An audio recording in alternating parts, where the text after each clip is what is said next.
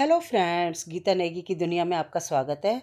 सबसे पहले तो जन्माष्टमी की आप सभी को बहुत बहुत बधाई और शुभकामनाएँ। भगवान की आप सब पे कृपा बनी रहे।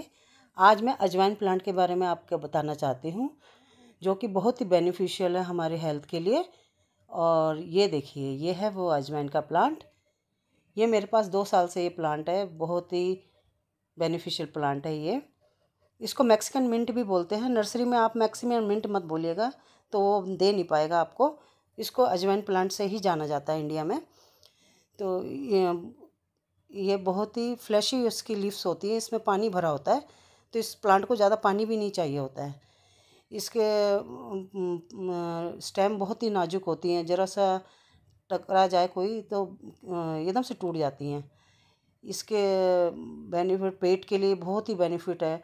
बेनिफिशियल प्लांट है।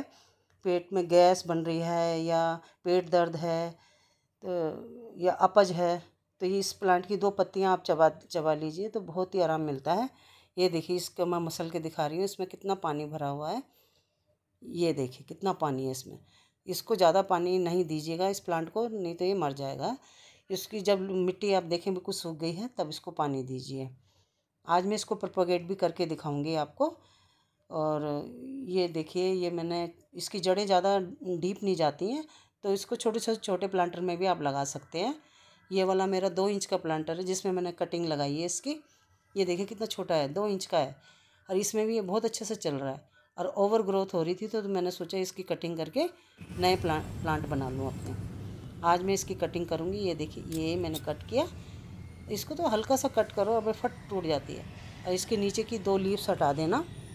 और मिट्टी में इंसर्ट कर दीजिए तो बस आपका प्लांट लग गया।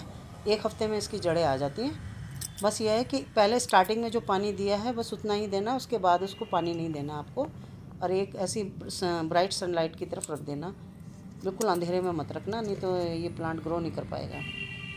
ये प्लांट क्या, कोई भी प्लांट, सबको ब्राइट लाइट तो चाहिए ही होती है। ये देखिए, मैंने एक पहले डाल दिया। नीचे से दो लीव्स हटा के इसको डाल दीजिए। एक और मैं, दो कटिंग ली थी मैंने। उसकी भी मैं अभी बताती हूँ। नीचे से दो, क्योंकि मेरे हाथ में कैमरा भी है तो ज़रा दोनों चीज़ें एक साथ दिखाना मुश्किल हो रहा है मेरे लिए। ये देखिए मैंने दूसरी भी स्टेम कटी और इसको भी यहाँ डाल दिया। ये देखिए, बस आपका प्लांट लग गया।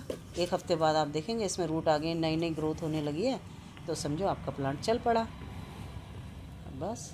इसको ज़्यादा केयर नहीं है, ज़्यादा ये देखिए, जो इसके नीचे की स्टेम्स की लीफ थी ना, वो मैं अब मैं अपने यूज़ के लिए रखूँगी, धो के इसको मैं खाऊँगी। और ऐसे ही मैं जब मॉर्निंग में गार्डन में आती हूँ दो तीन पत्ते अपने मुँह में रख लेती हूँ इसके। और चबाती रहती हूँ और अपना गार्डन का काम करती रहती हूँ। तो इसके बहुत ही बेनिफिशियल है, ये प्लांट इम्यूनिटी बूस्टर है। अस्थमा में बहुत रिलीफ देता है। अगर आपको फीवर है तो उसको रिड्यूस करने के लिए आप इसका काढ़ा बनाइए। Thank you